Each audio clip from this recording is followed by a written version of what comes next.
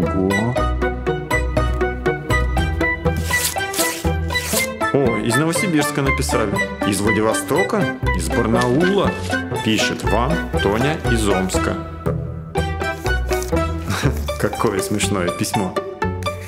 Да-да, я помню этот матч. О, какой рисунок. Так это ж я? Как много писем вам пишут.